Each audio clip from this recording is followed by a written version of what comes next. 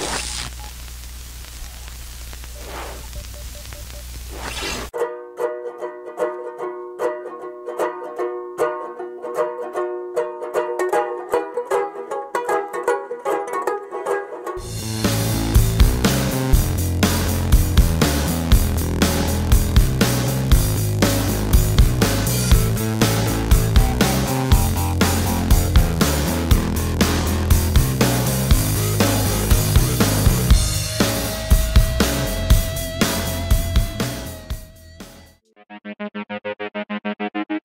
We are business designers. We actually help businesses design a better outcome. My team of 30 people work across a whole array of uh, projects um, with a very much a 360 approach to uh, what we do.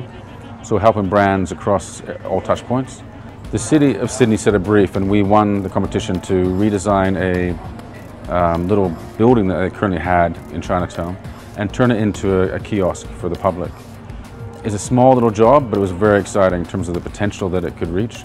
And rather than just do a simple kind of create a kiosk, we actually created a beautiful glowing red lantern uh, for the city of Sydney. We worked with a Chinese paper cut artist called Pamela. So it was genuine Chinese uh, art and culture entwined into that. It took about two years. Very small, as I said, very small project, but it took a long time. Um, but it was launched beginning of this year with great success. The community love it. The Lord Mayor loves it, which is really cool. Sometimes an organization, organization can be very successful, been going for a long, long time, and actually not, hasn't actually clearly defined what they're doing and why they're doing it to themselves and also to their, their staff. So we like to kind of go into an organization and actually help them to, to put clarity into what they're doing. I remember with Woolworths when they, when they briefed us ages ago, maybe two or three years ago, to help them to kind of roll out uh, Massimo Vignelli's um, new identity that he created across thousands of products including in-store visual merchandising, uh, the cafes, uh, their, and their advertising. Um, one of the things that the CEO said, CEO said at the time to me was, help us to do it for ourselves. You know, we don't want you to stay working with us forever. We want you to kind of help us set this up, um, to create a kind of a, a, system to kind of help them create a studio that they can they could produce it themselves on a world-class level. So I think that was a really exciting brief and a really exciting challenge.